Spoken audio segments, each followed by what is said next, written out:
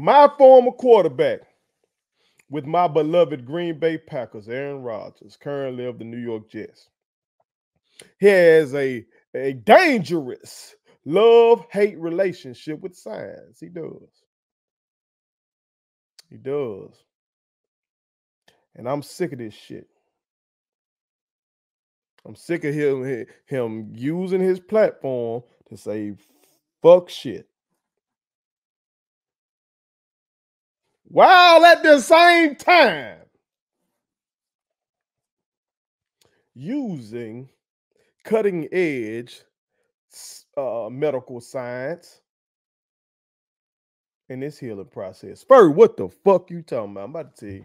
But before I do, excuse me, before I do, make sure y'all hit that subscribe button. I am your homeboy first, and this is the realest, most entertaining show in all the game. Put it on some again. Hit that subscribe button, share, share, share. Put all your people on and hit that like button as well. Because ain't nobody else talking about this shit. You can't find this nowhere in big sports media where they talking about this shit the way I'm finna talk about, okay? But let's look at some, y'all. Uh, uh as I said, current Jets quarterback, he's injured towards Achilles, Aaron Rodgers. Uh, he was on his boy Pat McAfee's show, ESPN's boy as well. ESPN, they letting a lot of shit ride. He got on that bitch with this anti-vaccine shit again. He called uh, uh, uh, uh Kansas City Chiefs superstar Travis Kelce Mr. Pfizer because you know he's in these commercials talking about getting your flu shot and your COVID shot and shit comes back, doubles down on the shit. See, I was gonna let him make it for the first one. Comes back and doubles down on the shit and claim he wants to have a debate with uh b- between him and his partner gonna be Robert F. Kennedy Jr., the nut job that's running for president right now. The motherfucker whose own family thinks he's a nut job. That son bitch. He wants that to be his partner. Okay and he want to face off against Travis Kelce and Dr. Anthony Fauci. Eh. This man, Dr. Fauci, then caught all this fucking hell, got death threats and all kind of shit for being the face of, of vaccination and mask wearing and shit in this country. And you bring up that main name.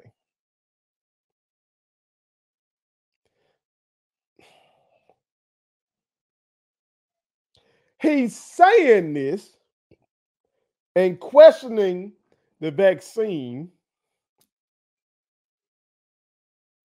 while simultaneously benefiting from cutting edge science. This shit comes from NFL.com. Okay. Check this out. I'm going to read uh, most of this shit to y'all. It says New York Jets quarterback Aaron Rodgers is targeting an improbable playoff return from his torn Achilles after undergoing an innovative surgery.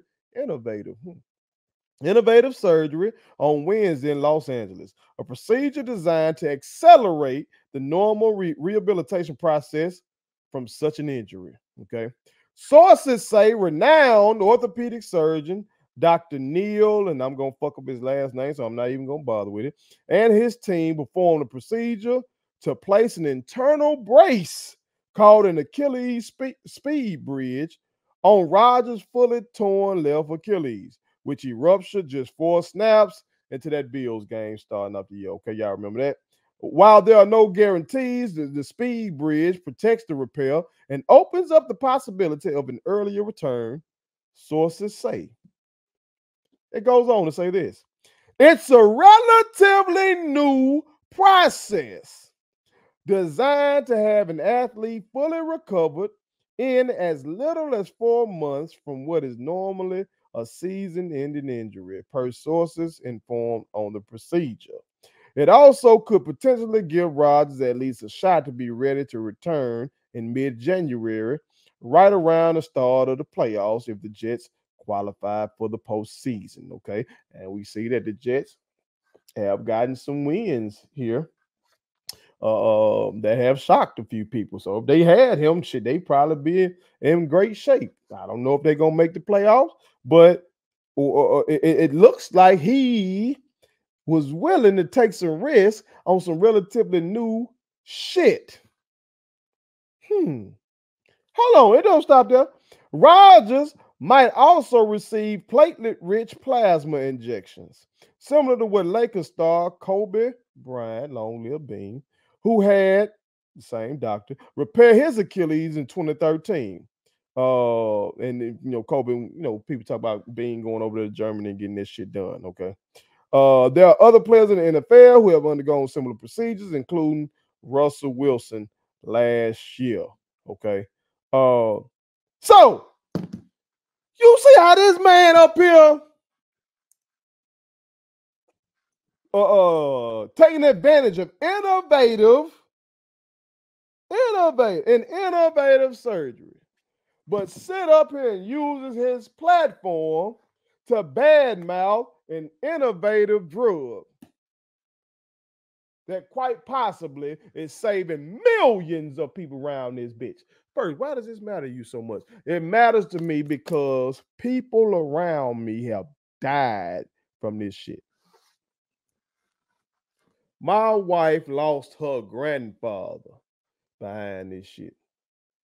My wife's grandfather was well on his way to being 100 years old. That man was getting around this bitch doing whatever the fuck he wanted to do. He drank spring water out in the country.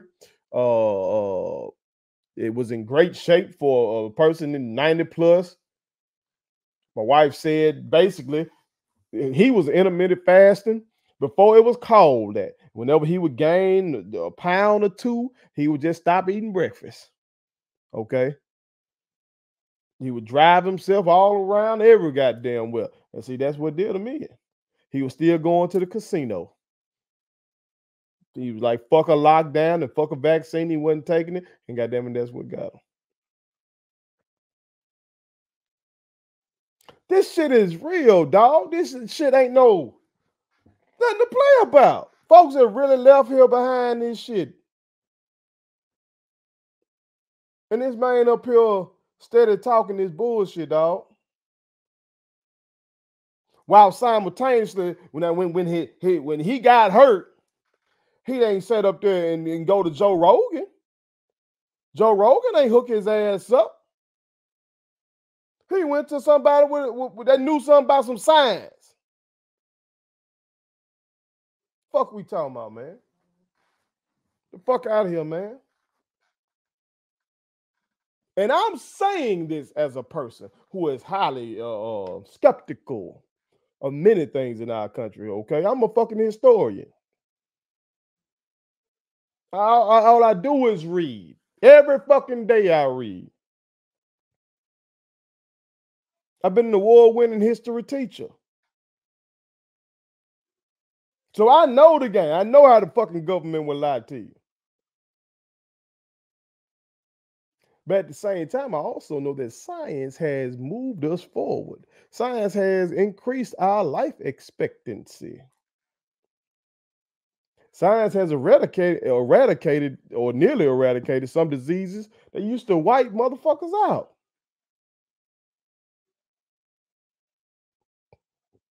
But this rich ass four time MVP Hall of Fame quarterback gonna sit up here and pop this fuck shit, man. But he showed getting world class health care right now when his Achilles is fucked up. Man, shut the fuck up. And ESPN, y'all wrong for letting that shit L. See, when McAfee was just doing that shit with his own YouTube channel, that's a different story. But now y'all motherfuckers are in bed with that shit. And y'all just letting it roll. And again, I'm also saying that as somebody who has a son with autism.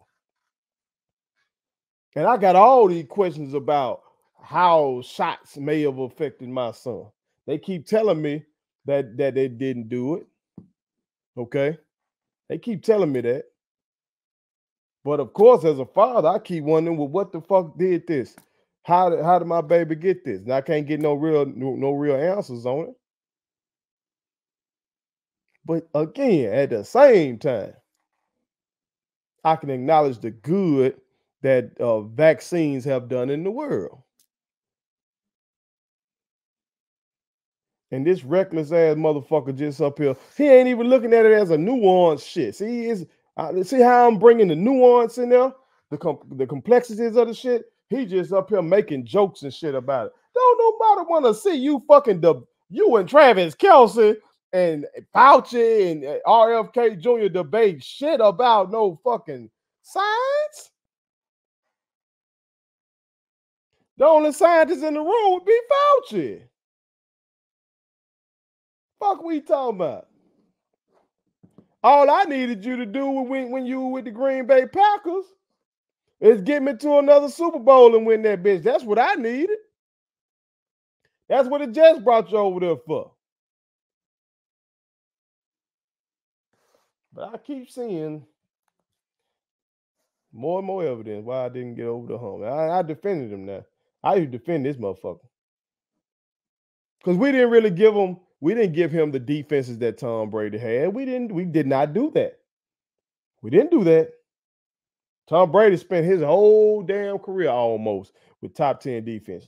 And Rodgers didn't do that. But at the same time, Aaron Rodgers ain't got none of the damn leadership skills that Tom Brady got. He's still up on this nut job shit. So y'all motherfuckers stop stop platforming that man with that bullshit, ESPN. Supposed to be the worldwide leader in sports. Thought y'all wanted to keep everything in sports. That's that's why y'all were mad at Jemele Hill and them. They were bringing all this extra shit into it. Y'all letting that motherfucker get on there and pop that shit. Shame on you. Shame on you. And for my people, don't tell me nothing about no goddamn uh, Tuskegee experiment. First of all, I've been to Tuskegee. I've been there. And I've been told from the people there, they do not like when people call that shit the Tuskegee experiment. That's one. Two, the government did not give people syphilis. What they did is not treat people who had syphilis.